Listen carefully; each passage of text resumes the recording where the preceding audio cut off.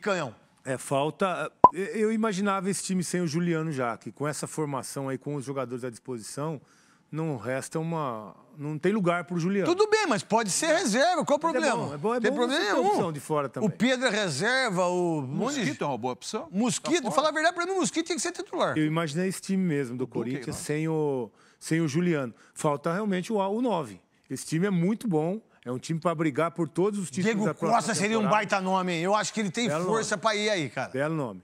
E o Corinthians Joga muito, velho. fica um time muito forte para a próxima temporada. É time para brigar realmente por Copa do Brasil, Libertadores, Brasileiro, é time forte. Vai brigar com o Palmeiras, vai brigar com, com, com o Flamengo e vai brigar com o Atlético. E esse time aí briga com todo mundo. Aí eu não sei o Silvinho.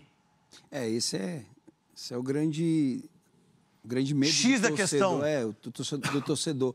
Eu acredito que o Corinthians também precisa de um lateral direito também. Pra quando, quando, Pra quando, o Fagner não, joga. jogar, entendeu? Tanto o Mas lateral contratou o João também. Pedro. João Pedro. João Pedro é bom, é bom jogador, assim, não é lá, mas ele é. Mas é, não sei. Boa opção. É uma boa opção. E eu ainda acredito que o Juliano joga no lugar do Gabriel nesse time. Você vai ver o que eu estou Tá, dizendo. beleza. Você vai ver que, que com um time que tem qualidade, um time não precisa tanto se defender, o time que tem a bola. Não precisa ter um volante. Não é precisa que, ter um é que- volante. então, mas é que a história do Corinthians sempre teve volante e marcador.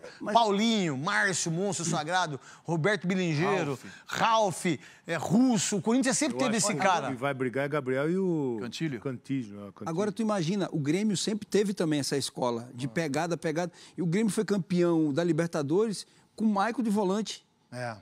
E o Arthur. É verdade. O que que você pensa em relação a esse time aí, Canhão? Briga ou não? Não. Esse time hoje no futebol brasileiro é quarta força, abaixo dos três que você citou: Galo, Palmeiras e Flamengo. Esse time não briga por título brasileiro e continental, não briga por Libertadores, não. Esses três estão muito acima hoje dos outros clubes brasileiros. Repito, para mim tem que ganhar, começar ganhando o Campeonato Paulista, ok. Não é muita grana, mas já ajudaria muito. Mas é primeiro, além da grana, o impacto de você ganhar um campeonato que é um campeonato ainda forte. Mas esse time precisa de reforços. A gente fala aqui do centroavante, Souza lembrou, lateral. Você falou lateral esquerdo. Ainda precisa melhorar muito. Mas perto do que a gente viu no começo desse ano, é um belo time. Ah, eu vou falar uma coisa pra você. Briga por todos os títulos que vai disputar esse ano. Chegar um 9 do tamanho Se que chegar falando, 9 do tamanho que tá falando, a única coisa minha é o Silvinho. Já mandava embora já. Natal, bota no saco do Papai Noel, bota no saco e tá tudo certo.